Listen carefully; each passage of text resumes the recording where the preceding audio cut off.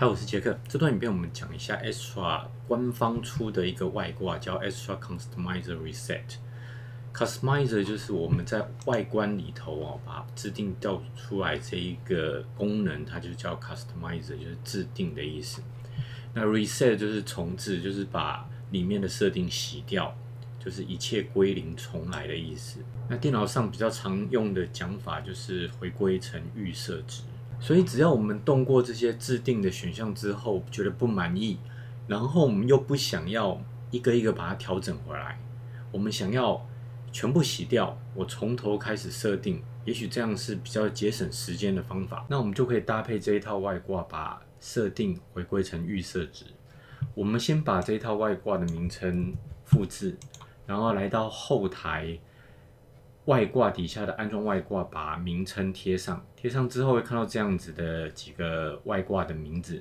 我们找到这一个是我们要的，我们就按安装。那我在这边已经先安装好了，所以我就直接按启用。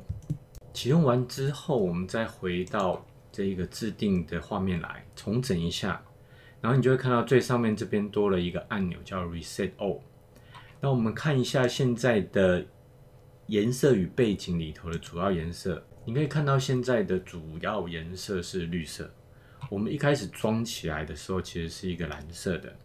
那这一个颜色是因为我装了这一个范本，啊，我们可以汇入现成的网站范本。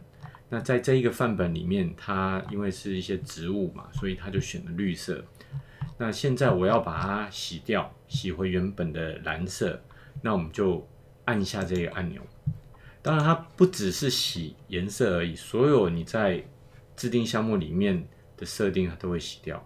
那刚刚它做了一个重整的动作，那重整之后，你看到现在的 logo 变得比较大，就是不像我之前有为了美观我做调整，我把它调整到比较合适的大小，而且我的网站标题本来也被我隐藏，现在又跑出来了。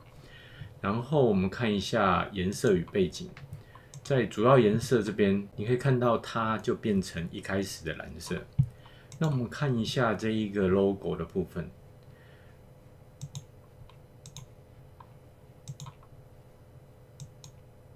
好，那其实这个布景主题一装起来的时候，它是没有 logo 的。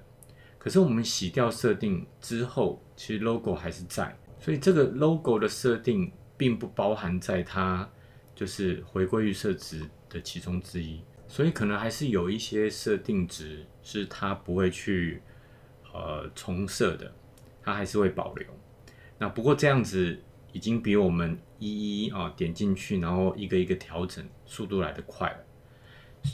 你只要按下这个按钮，就自动帮你回归。那你可能会想说啊，我首页怎么还是刚刚汇入的那个网站范本？那这个是属于在设定的阅读这里，这边它从最新文章一开始，我们 WordPress 预设是最新文章，是我们汇入了那一个网站范本之后，它变成选择静态页面，而且它有了一个页面叫做 Home，它这边就调整到 Home，所以这里并不属于。这个制定选项的范围，所以它不会去动到这里。那如果你希望说，哎，回到一开始啊，那个首页是最新文章，那你就在这边做调整。那这个时候我们再回到首页，你就会看到最新文章。好，那有关这一个官方出的，可以帮我们把制定选项回归预设值的外挂，就为你介绍到这里。